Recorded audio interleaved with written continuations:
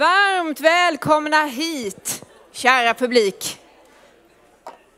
Vad roligt att se er här. Vi ska ha en diskussion här idag om den innovativa staden. Men innan vi börjar snacka så ska jag försöka ta av mig lite grejer här. Jag har inte plötsligt drabbats av en eh, nackskada, det ser lite så ut. Jag försöker skydda mig från huvudskada. Man vet ju aldrig vad som kan hända i en sån här debatt. Ehm, skämt åsido, jag tror ni känner igen den. Det är cykelhjälmen Hövding. Den här eh, hjälmen innehåller en airbag som löser ut på 0,1 sekunder om olyckan skulle vara framme. Kommer från Lund, finns idag på 15 olika marknader i Europa och Japan. Vi har eh, ett trygghetslarm som inte jag har på mig, men som finns här på designern och uppfinnaren Hanne Paulsson. Håll upp armen. Vavios heter detta, eller hur? Om jag har förstått det rätt så är det ett, ett mobilt eh, trygghetslarm och dolt där inne finns det en knappsats som gör att man inte av misstag kan lösa ut larmet. Just det, men däremot så kan man då med ett panikgrepp som ni har lyckats patentera eh, då lösa ut larmet. Häftigt. Och du är designen bakom detta? Tack, kul att se. Eh, vi har också den här lilla mojängen. Någon som har testat den? ColdZyme? Ja, hand upp. Det är ett munspray som eh, angriper förkylningsvirus. Ska göra så att vi håller oss pigga och friska. Vad har vi mer? Jo, i den här burken, Simris alg omega 3, finns det små kapslar som ser ut så här. Det är omega 3, men de är tillverkade av alger istället för krill eller fiskolja, så att det är mer eh, miljövänligt och eh, hållbart. Luktar inte så himla gott, men ska vara nyttigt sägs det. Ehm, och allra sist här ja, på min eh, vänstra arm, det här armbandet kommer från ett Ideonföretag som heter Palago. De tröttnade på att hålla ordning på kontokort, på nyckelkort, på taggar. Så de valde att samla all den informationen i det här armbandet. Smart lösning tycker jag. Alla de här innovationerna är sprungna ur Lund och kommer ur ett innovationsklimat där universitetet, kommunen och näringslivet samverkar och samarbetar tillsammans med de som också bor i Lund. Och det är lite grann det här vi ska diskutera idag. Hur kan man utifrån staden och stadens förutsättningar jobba med innovation? Vad kan vi göra bättre? Vad kan vi göra mer av? Vad kan vi lära oss? Och vi gör som vi alltid gör i Lund. Vi börjar med forskningen. Eh, jag vill säga välkommen till Fredrik Nilsson. Du är professor i designvetenskaper vid Lunds universitet och du har forskat just kring den innovativa processen. Och du ska ge oss lite vägledning här. Vad bör vi tänka på? Vad ska vi göra mer av, mindre av? Varsågod. Se om jag hörs också. Um, Lite kring innovation har jag tänkt att eh, bidra med här och eh, som vanligt så håller jag eh, dels långa kurser i detta och jag pratar aldrig mindre än 45 minuters pass så du får stoppa mig här. jag har gett dig en utmaning, som, det blir fem minuter, åtta kanske. Som, som föreläsare, tack. Um, Innovation är ett av de stora buzzworden som jag har stött på i många olika sammanhang och det är också inne i forskardebatten kring vad det är och inte är och så vidare. Så jag tänkte bara kort inleda med hur vi ser på det när vi i vår forskning när vi jobbar med vad en innovation är. Ehm, och det är någonting som är nytt för sitt sammanhang och som är framgångsrikt implementerat eller kommit, tagit i bruk. Ehm, det kan vara en produkt, en service eller en tjänst, eh, ett nytt sätt att jobba, eh, ett nytt försäkringssystem och vad det nu gäller. Så det är ganska brett i sin ansats. Ehm, det är ju eh, VM friidrotts-VM här snart, så ett exempel på just en innovation från idrottsvärlden kan kanske exemplifiera för alla här. Um, skedde på 60-talet uh, eh, inom höjdhopp. Uh, och en del har kanske sett tidigare hur man hoppar och hoppat även med någon saxande stil uh, eller en dykstil kanske man också har gjort i, under sin skoltid. Ehm, men där någonstans så har vi ett exempel på en klassisk innovation som har blivit framgångsrik implementerad när Dick Fosbury floppar över ribban och hoppar då högre än alla andra och vinner OS bland annat eh, 68 i Mexico City. Eh, typiskt exempel på någonting som är nytt för sitt sammanhang. Det introduceras på ett framgångsrikt sätt och sen så har det stannat också under ganska lång tid. Ehm, det man kan säga när man pratar om innovation är att säga vad det inte är. Eh, för många pratar om invention eller uppfinningar som om det var innovationer. Och en eh, uppfinning eh, kan man kanske patentera eller något annat. Men det är inte förrän den har faktiskt tagits i bruk och tagits i bruk på ett ganska stort sätt som vi kan prata om innovationer, någonting som faktiskt någon vill ha. Och det är lite centralt i sättet vi jobbar med innovation eh, och design. Det är att vi utgår från brukaren, den som faktiskt ska ha nytta av detta. För det vi ser i mycket av forskningen handlar om att företag är väldigt duktiga på teknik och de blir väldigt duktiga på teknik eller hur man gör någonting redan idag. Och sen gör de detta lite bättre och lite bättre och sen blir diskussioner snarare om, eh, om jag nu tar in telekom till exempel, hur många megapixlar man har på sin kamera och något annat och det konkurrerar man med snarare än det som faktiskt användaren vill ha. Som kanske var en gång i tiden för Nokias del att kunna byta skal eller som har varit för iPhone och, Apple att faktiskt kunna ha en, ha en eh, användarvänlig produkt. Eh, så det är någonting som är också centralt i detta, att invention och innovation är faktiskt skilda saker. Eh, det ska faktiskt komma i bruk. Eh, när det kommer till att då jobba med det här och när man jobbar med innovationsarbete så kan man sätta detta i relation till vad förbättringsarbete är. Förbättringsarbete definieras ofta som att man gör någonting lite bättre än det man gör idag. Man fortsätter göra ungefär samma sak som man gör, men man gör det lite bättre. Man satsar på att korta en tid, man ska sänka en kostnad eller höja en kvalitet. På det sättet blir det också ganska lätt att utvärdera. Vi vet om ett förbättringsarbete har blivit bättre, för vi har redan satt ett sätt att utvärdera det ifrån. Börjar vi jobba med innovation, då vet vi kanske inte riktigt. Då gör vi oss iväg i en viss riktning och tar lite småsteg på vägen för att tillfredsställa ett behov på ett nytt sätt. Men vi vet kanske inte riktigt lösningen på det. Så vi ändrar ganska många saker samtidigt. Vi kanske inkluderar patienten på ett helt nytt sätt i en behandlingsperspektiv eller vi kanske inkluderar eh, invånarna i ett eh, i Lund eller någon annan stad för den delen på ett nytt sätt som vi inte riktigt vet var det tar oss. Men vi har ett syfte med vår resa och vi ger oss in på det. Och istället för att veta då om vi är framgångsrika utifrån vad vi sätter från början så är det snarare någonting vi får på vår resa genom att jobba vidare i detta. Um, när vi tittar på eh, innovation som sagt så ser vi att vi har ett par dimensioner och jag sa behovet är en gång utgångspunkt. Uh, hela tiden behovsorienterat. Uh, och vi ser ju på olika sätt hur vi kan möta de här behoven.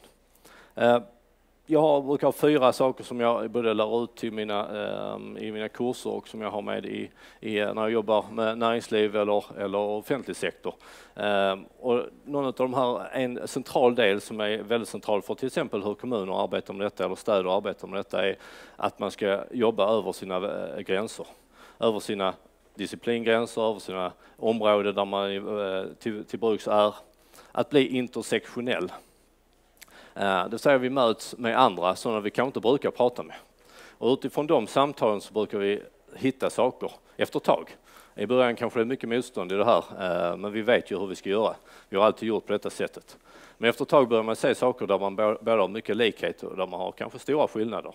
Och när man kan få det här sökandet i fokus så, så börjar något hända någonting. Som exempel i mina kurser så, så kan man eh, variera på många sätt. Man kan variera på ämnen. Eh, att man byter ett ämne, man tar in någon annan expert från ett annat område, tar in en, en eh, kock eh, som visar på hur man kan tänka på ett nytt sätt, hur han eller hon bedriver sin verksamhet. Hur kan vi då använda detta när vi designar en ny, ny, ett nytt logistiksystem till exempel. Men det kan också vara att man själv placerar sig i olika sammanhang, att man byter miljöer att vara i. Ehm, mina studenter och jag, vi brukar sätta oss kanske på en, eh, en stationsbyggnad, en centralstation i Lund och sitta och jobba lite. Vi sätter oss på ett eh, väntrum och sätter oss och jobbar där. Så vi byter också våra miljöer där vi är. Och där kan man också ha stora utbyten med att bara vara på olika ställen om man är i näringslivet eller offentlig sektor, att man möts och träffas där. Eller som kanske Torbjörn kommer att senare, att man kan sitta sig på universitetet och möta olika forskare som ser saker och ting på helt olika sätt. Um, något kännetecken jag ser för att när man jobbar med innovation, ehm, de teamen jag träffar, om jag upplever att de har koll på läget eh, i sitt innovationsarbete så brukar jag säga det på min checklista som att jag då jobbar ni antagligen inte så mycket med innovation. Eh, en sån här man kan nypa sig att, att man är inne i någonting där man hela tiden inte har riktigt svaren, där man hela tiden måste söka med sin nyfikenhet efter någonting, är en central del i innovationsarbete. Eh, det ska kännas lite frustrerande, det ska kännas lite utmanande eh, att vara där, att känna att ja, detta känner jag inte för, eller här till och med blir jag lite eh, affekterad på något sätt, att detta, nej, så här kan vi inte göra, vi har alltid tänkt så här. Eh, vad är det nu för, varför gör vi på detta viset?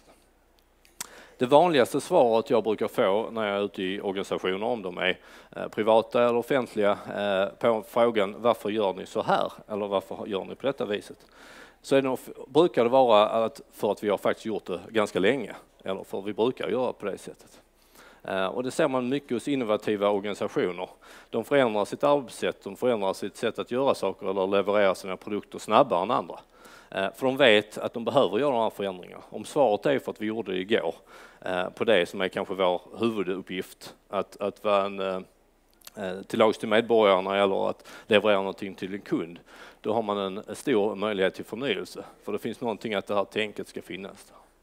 Så det är någon av de centrala delarna jag ser som kring innovationsarbete och hur man ska jobba med, med eh, innovation. Ja, perfekt. Vilket bra första avstamp för den här diskussionen. Jag tänker på en sak bara. Eh, när man får sin organisation att bli innovativ, vem ska sedan fatta beslut om vad som ska göras? Ja, när jag, när jag ehm, hade samtal med Martin Gren för ett antal år sedan innan Axis var så stora som de blev eh, och är nu, så att säga, de var fortfarande kanske lite organisation, så sa han ofta att det kan vara organisationen som eh, gjorde detta själva. De lät de projekten faktiskt överleva som skulle, kunde överleva, de som visade att de hade mest behov på marknaden, att de skulle fortsätta. Mm. Och lite det tänket att som ledare och chef att våga saker och ting växa, mm. som faktiskt det finns ett stort engagemang för, är ganska centralt för att innovation ska hända. Det är det här att släppa kontrollen också då i slutändan. Kunna släppa kontrollen. Som kanske inte är helt enkelt alla gånger. Nej. Vi ska kolla med Anette Henriksson som är kommundirektör i Lund om hon lyckas släppa kontrollen tillräckligt mycket för att bidra till ett innovativt klimat. Välkommen! Tack! Jag tycker en applåd, en applåd är på sin plats. Och Fredrik, du får snart komma tillbaka igen. Um, Anette Henriksson, du brinner ju för innovationsfrågorna har jag förstått. Ja, det kan man lugnt säga. Ja, och du drog igång en innovationstävling bland alla de kommunanställda. Berätta, vad handlade det om? Eh, man måste nog börja och säga liksom, varför, varför brinner jag för det här egentligen? Jag tror att eh, kraven på oss i kommuner och den offentliga sidan, de kommer att öka. Man kommer inte acceptera att vi jobbar på samma sätt, att vi levererar våra tjänster på det sättet som vi har gjort. Utan vi måste tänka nytt. Vi måste jobba effektivare mm. och vi måste vara en attraktiv arbetsgivare för de ungdomarna som kommer in och de nya medarbetare. Eh, då vill man inte liksom göra som man har gjort alltid annars. Just det, och ni så det finns, det finns olika. Så, så därför så drog jag igång en, eller har haft ett längre tänk kring att eh, vi måste jobba på annorlunda sätt. Ja. Och ett sätt eh, är ju att gå, alltså individen är den eh, drivkraften i innovationsprocessen.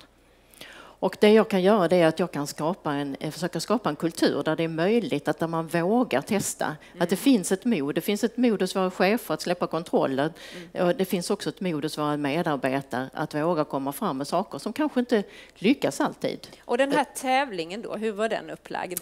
Eh, då var det faktiskt så att eh, jag gick ut i ett sommarbrev och så talade jag om att jag ville gärna att alla 9000 medarbetare skulle komma in med ett förslag på hur man eh, kunde göra någonting annorlunda på sin arbetsplats mm. och sina arbetsplatsträffar. Och när man då sitter så kan man ju liksom knåda tillsammans.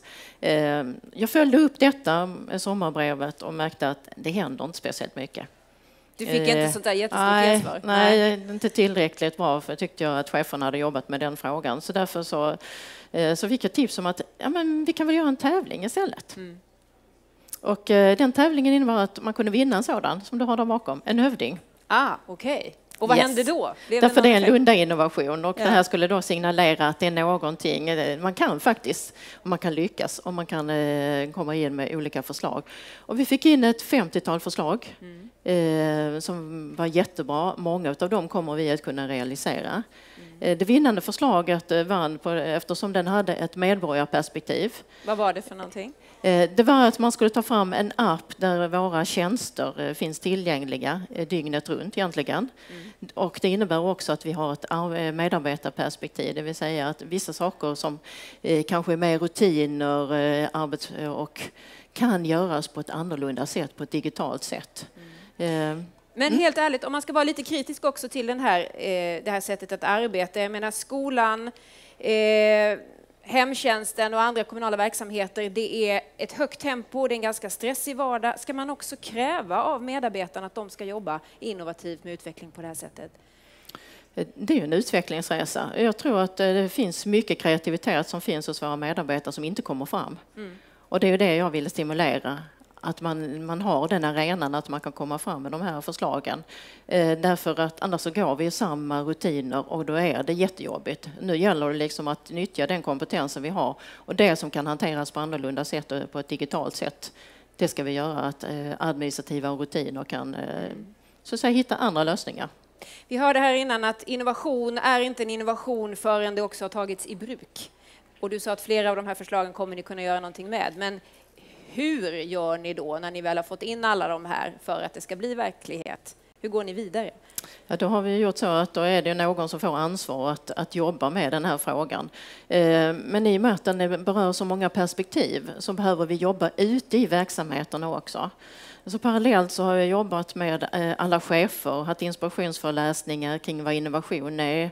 Mm. Det ingår i ett ledarprogram som går där också en del, en modul är innovation. Eh, och här i september så kommer vi att jobba alla 350 chefer med verktyg som man ska kunna ha med sig att jobba ute och stimulera den här kreativiteten och de innovationerna. Men det, är det lite obekvämt och lite jobbigt också då? Ja, men jag tror att innovation, är ordet är lite uttjatat men eh, också eh, lite skrämmande. Ja. Alltså innovation sysslar vi inte med i det offentliga. Det. Det är utan det är, man ser någon eh, teknisk lösning eller någonting sådant och det är inte det det handlar om utan det är innovation av tjänster mm. som vi levererar. Mm. Jätteintressant och inspirerande tycker jag. Vad tycker ni? Mm, bra, nu ska vi få upp resten av panelen och så ska vi vrida och vända lite grann på argumenten. Välkomna hit. Då har vi eh, först upp här Mia Rolf, tror jag, VD för Ideon Science Park. Anders Almgren är också här, kommunstyrelsens ordförande i Lund. Eh, Torbjörn von Schantz, rektor för Lunds universitet och Sven Stafström. Välkommen hit, du är generaldirektör för Vetenskapsrådet. Ni får ta plats, klämma ihop er. Välkomna ska ni vara. Tackar. Eh, om jag får börja med att vända mig till er tre som utgör då en slags trippelhelix, ni vet det här begreppet för eh, kommunen, näringslivet och universitetet. Vad är hemligheten för att det ska uppstå och bli ett innovativt klimat hur ska ni samarbeta för att det ska uppstå? Om vi börjar med dig Mia Rolf, vad tänker du? Ja, men eh, eh, det är en viktig del i det vi gör hela tiden, är att skapa arenor för att olika kompetenser ska kunna mötas och eh, ta itu med utmaningar som finns i samhället, inte bara i Lund utan i, hela världen så jag tror en viktig del är att vi ser, vi ser varandras storheter, att vi ja. respekterar varandra i den här eh, innovationsresan. Mm. Håller ni andra med, eller vad tänker du Anders? Vad behövs komma till? Ja, det behövs de här arenorna. Sen tror jag det är viktigt att man tar det här på allvar, att det blir en del, det är ingenting man gör vid sidan om det andra man gör. Det var lite som Anette var inne på, vi kan inte bara göra det gamla och sen ska vi vara lite innovativa vid sidan om, utan det här att jobba med innovation och skapa förutsättningar för det, det måste bli en del av vardagen. Mm. Det är lite 8 till 5 över det också. Kan man lära av varandra där, tror du?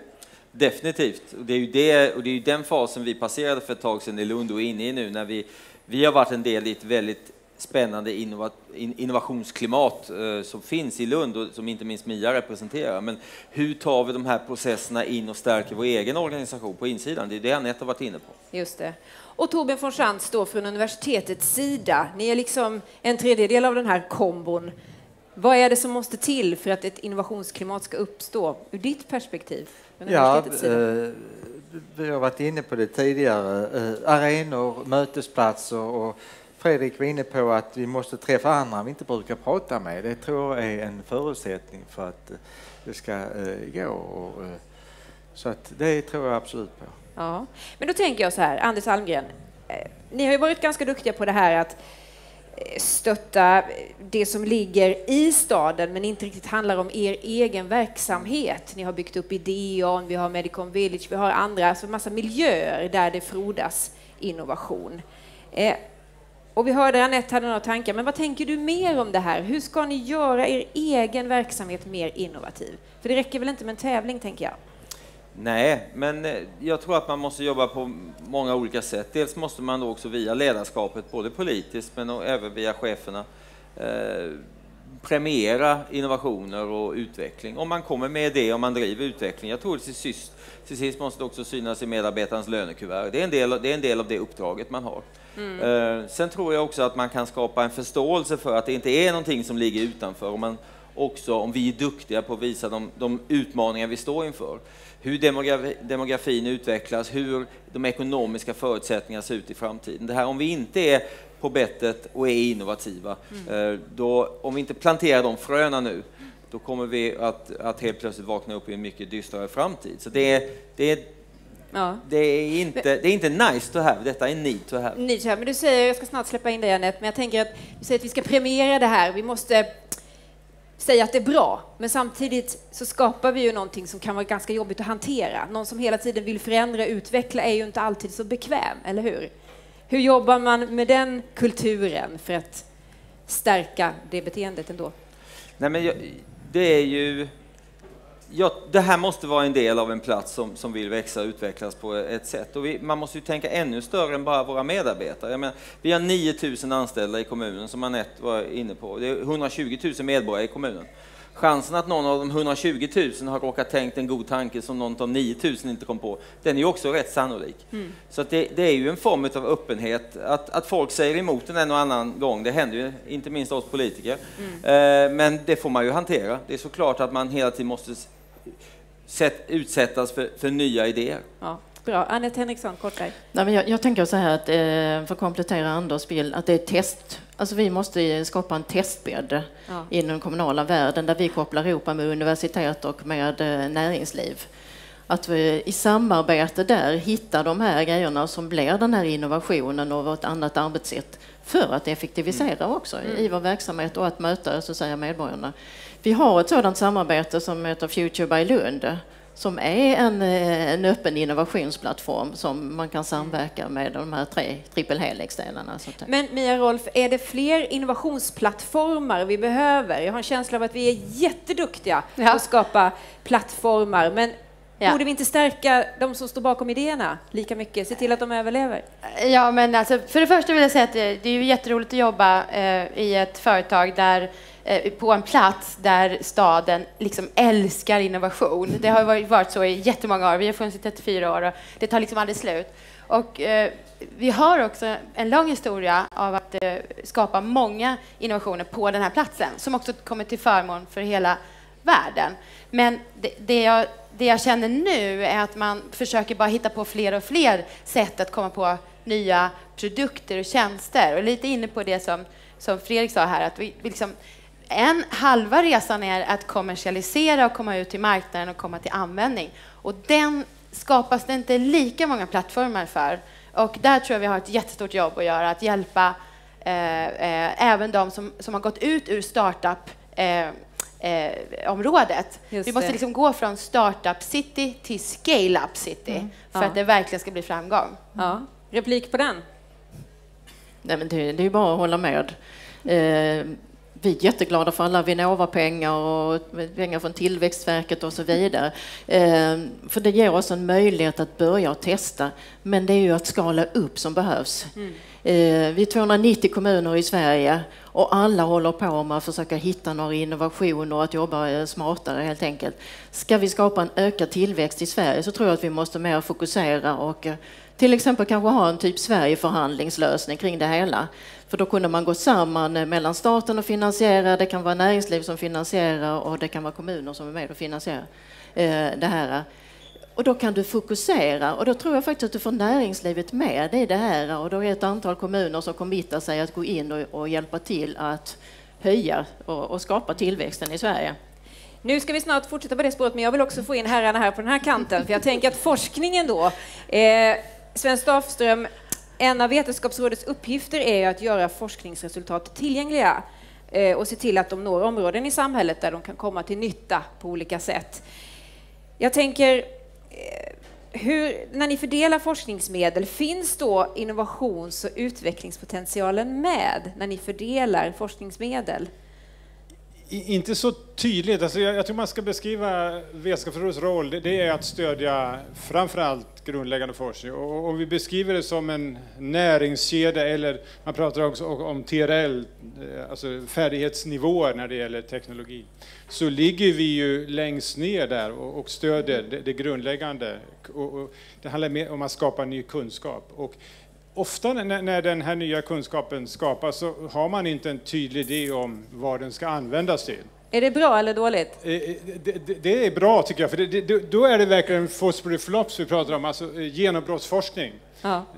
Ta Michael Faraday när han, han upptäckte induktion.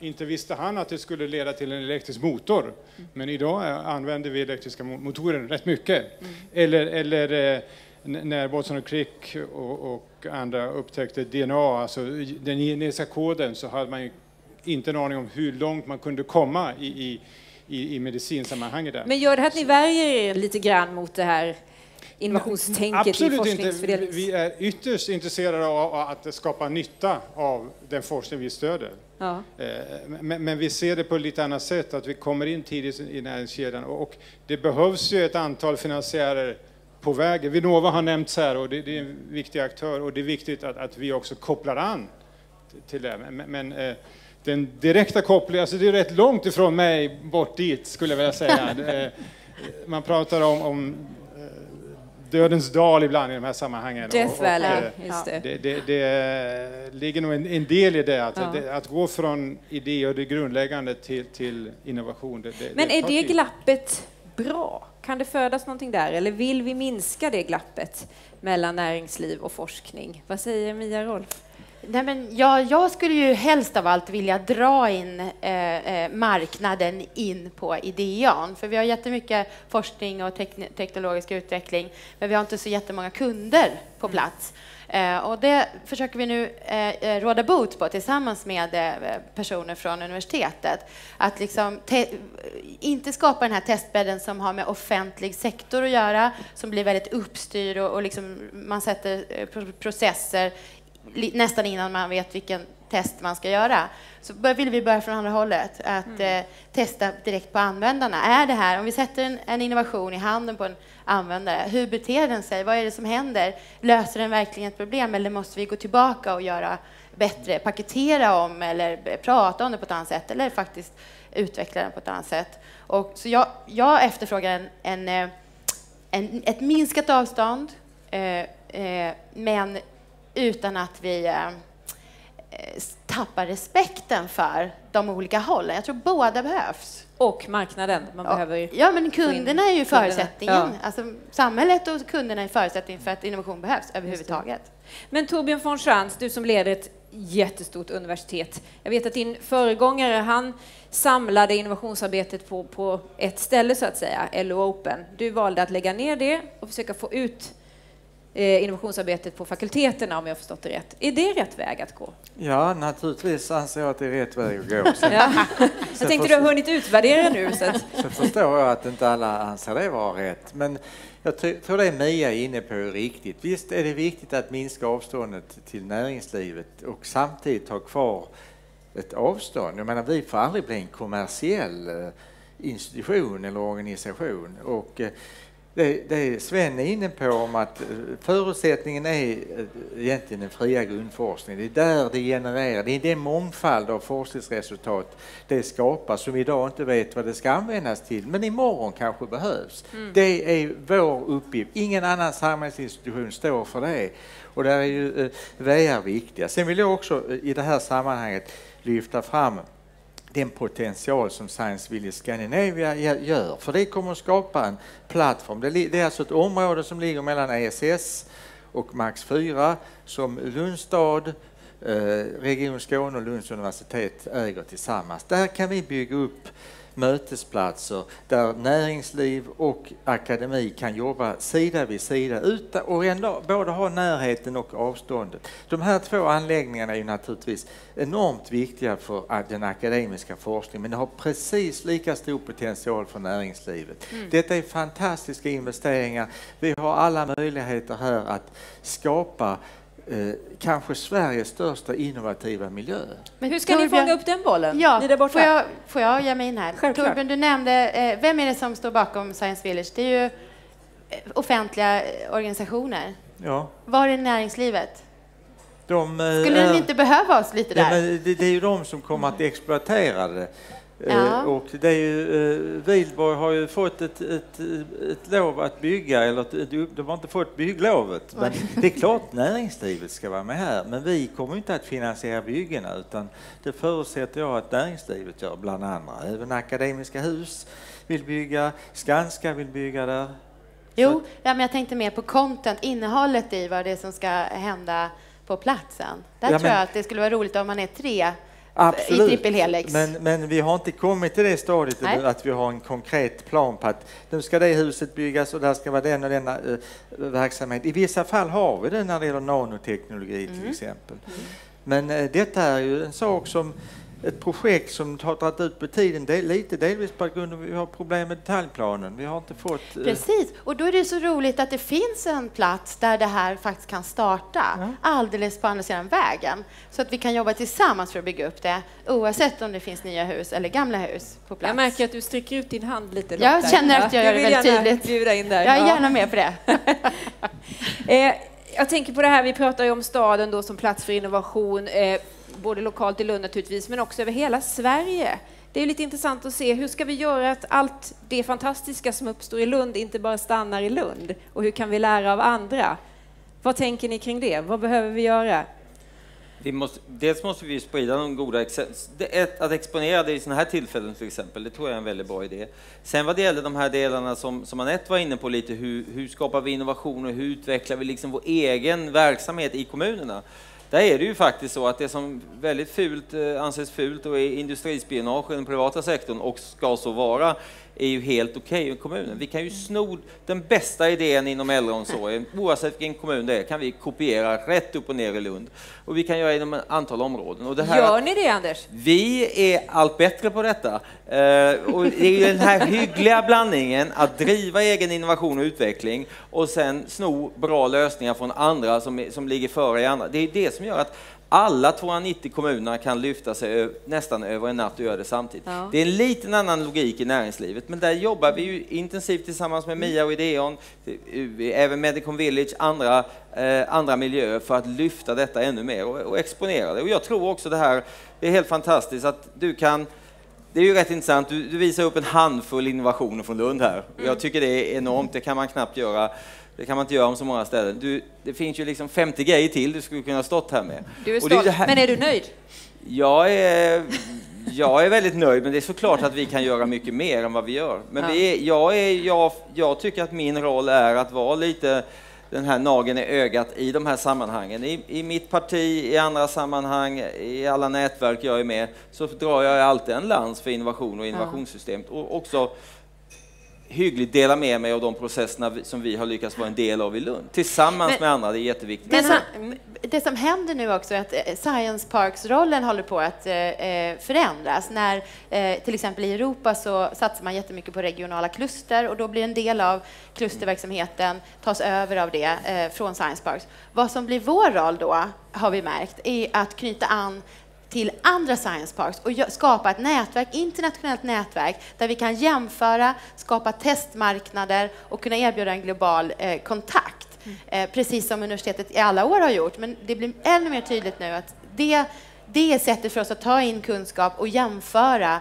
innovationer som kommer från oss med världens eh, övriga tror jag är jätteviktigt. Mm. Sven Stafström, vad tänker du? Jag, jag tror den här berättelsen om framgångssagorna är otroligt viktig att, att sprida och, och, det gäller ju det gäller hela den här näringskedjan jag var inne på, att också spåra framgången tillbaks till, till, eh, via innovationer till, till grundläggande forskning och, och, se på den hela kedjan och, och lära av, av, alla de stegen. Sen, sen, tycker jag också att Lund har ju en, en, en, ett stort försteg jämfört med många andra städer, just att man har ett universitet, man har kunskap och kunskap hos befolkningen är ju väldigt central i, i det här sammanhanget, att, att, skapa innovationer. Men kan det inte också skapa en slags rädsla om man lever i Lund, alla är så jätteduktiga och kunniga och kan så mycket, man vågar inte misslyckas. Då uppstår inte heller någon innovation. Hur viktigt är det? Det är jätteviktigt. Jag måste ta eh, ett ord som jag har plockat från USA, för det finns inget ord för det i Sverige. Och, och det används inom Silicon Valley, inom startupvärlden. Eh, och det är ordet shortfalls. Eh, vi pratar om lyckas eller misslyckas, det är ett eller nolla i Sverige. Men för dem finns det ett antal shortfalls, snubblingar eller vad man ska kunna säga, på vägen till framgång. Det är en naturlig del av en framgångssaga. Och jag tror vi måste bejaka eh, test, precis mm. som du sa, våga eh, chansa eh, och lära oss snabbt. Och då tänker jag som ledare, Anders Almgren, om du då har kommunanställda, ta en lärare till exempel som kommer med ett nytt förslag och den personen kanske inte har det bästa förslaget, det blir inte så himla lyckat. Hur ska ni göra för att den personen ska våga testa igen, komma med nya förslag? Ja, det, det, det finns ju olika sätt. Jag, menar, jag tror att delar av det, den här trögheten som finns i, och den kanske naturliga tröghet som finns i innovationsfunktioner i andra sammanhang, ni pratar om the valley of death, det är ju delvis ett reningsbad som, som delvis på ett sätt delvis sunt, sortera bort saker som inte möter någon marknad. Eh, men där är det ju också så att jag tror ju att att vara innovativ, det handlar inte om att man ska testa allting som är tokigt. Mm. Eh, det är det ju inte, utan framförallt ska man väl testa saker som med sannolikt har en, en bäring på någonting positivt och en del av det kommer, kommer att ge frukt. Eh, men där får man ju också lita väldigt mycket till, till professionen. Eh, och det är det jag vet också, Anette har, har tagit på sig som tydligt uppdrag i vår organisation. Här kan man göra på olika sätt i olika organisationer. Men just att man måste faktiskt våga snubbla ibland. Mm. och vi från politiken, och det är väldigt viktigt att stå upp för det, att vi måste också sanktionera de här snubblingarna. Vi måste faktiskt säga att ja, men man gjorde ett ärligt försök, allting pekar på att det skulle lyckas, nu nådde vi inte ända fram. Och det är faktiskt helt okej. Okay. Skydds barriär i form av att ni samverkar också kanske. Man kan hjälpa varandra till framgång. Du var inne på det innan, Anette Henriksson. Jag skulle vilja veta lite mer. Du talar om en Sverigeförhandling kring innovation. Vad menar du då? Jag menar att vi behöver kraftsamla i Sverige för att eh, nå framgång i innovationsarbetet att koppla ihop med universitet och med näringsliv och med staten. Men konkret, vad skulle det innebära? Ja, det innebär egentligen att eh, staten eh, tar kontakter och bjuder in ett antal kommuner som skulle tillsammans kunna komma fram till att vilka områden är det som är, är viktiga och vi går fram och vi hittar de här bra lösningarna. Sen kopplar man från näringslivet till det. För jag tror inte att näringslivet kommer att springa på 290 kommuner och ha den kraften. Man, man har varken tid eller man har pengar till det. Mm. Så att jag tror att det skapar en möjlighet för näringslivet också att koppla på sig och eh, universiteten. Är det det här lyftet vi behöver nationellt för att Lundaandan ska spridas? Absolut. Vi måste få ett nationellt uppdrag, eh, också som, som eh, eh, alla vi i Science Park som jobbar för att driva Sverige framåt. Vi driver inte en miljö med en mötesplats, vi driver Sverige framåt och ett, ett verktyg är den här miljön. Eh, jag tror vi måste ha en nationell syn på det. Men jag skulle också eh, vilja tipsa då Lund om att åka upp till Göteborg som nu har faktiskt fått ihop det på något bra sätt med eh, eh Johanneberg och Lindholmen Science Park och staden och Chalmers universitet. Det är en fantastisk eh, framgångssaga som vi också kan lära oss av, tänker jag. Jättebra. Ni har lyssnat länge nu. Vi ska göra ett kort avbrott för att se en fantastisk liten film som faktiskt visar hur man ur innovation och forskning kan börja jobba på ett helt nytt sätt. Och det kommer ifrån ditt område, Fredrik, eh, innovationsvetenskaper. Så samtidigt som vi rullar igång den här filmen skulle jag vilja att du kom upp igen, så ska vi recensera den här debatten lite grann. Får vi höra om de har sagt rätt. Men vi kör filmen först. My biggest dream is to dive into the deep sea. To climb Mount Everest. I just wonder how a trip to the moon could be. The worst thing of being old is the immobility. And sometimes I look at old pictures and remember my beautiful journeys. I used to love walking in the nature, in the woods, listening to birds. LTH at Lund University is a place for dreams and discoveries. Here we want to create possibilities for all people in their everyday lives. Hello, nice to see you, Matthias. Welcome. Welcome. We start with something simple. We talk about it, we discuss it, we try it, then we try something else, and with slow improvements, we're reaching something that we believe could actually be used in, for example, an elderly care center. If you're not able to experience the world in the way that you used to, this technology can help you. Virtual reality, as I see it, is a unique medium because it can create meaning and evoke emotion like no other medium. It was amazing. Just been to the space. Today I was in the deep sea. If they laugh and look at me like I'm crazy, then I know it could potentially be a good idea. Ah, fantastiskt. Man blir lite tårögd, det är lite gåshud, tycker ni inte? Mm. Det är fantastiskt. Fredrik Nilsson, vad kan du berätta om den här, det här arbetet? Um, ja, som mina... Sen var igång någon uh, mickar också. Um, Ehm, som mina kollegor Mattias och, och Johanna och Rickard här eh, som varit involverade i detta bland annat säger att vi igen möter brukarens behov här i detta sammanhang. Hur, hur de här äldre i detta fallet, hur man kan faktiskt med hjälp av teknik och utveckling möta behov på ett helt nytt sätt. Mm. I detta fallet då att kunna uppleva någonting i en virtuell miljö och annat. Och det är någonting som vi har jobbat rätt mycket med, med Lunds kommun också kring andra miljöer kring Science Village eller uh, nya områden i städerna kring detta. Hur man kan jobba vidare eller kanske med en ny centralstation och annat som vi jobbar med just nu. Just att där man kan faktiskt göra saker och ting. Och vet ni vad, ni kan faktiskt testa det här precis här utanför. Här står en motionscykel och sådana här VR-glasögon så kan ni ta en cykeltur i Lund. Det rekommenderas varmt. eh, jag skulle vilja höra från dig, du har suttit och lyssnat lite grann på vår mm. diskussion här. Ja. Är de rätt på det? Det tycker jag. Detta är en god start. Jag vill bara lägga till uh, vår nya strategi för Lunds universitet där, där, som knyter samman mycket av det här att vi ska jobba med samhällsutmaningar, de stora samhällsutmaningarna på något sätt. Och då, då behöver grundforskningen man mötas på andra sätt i de här, för vi samlas på ett annat sätt än kanske vi har gjort disciplinärt tidigare.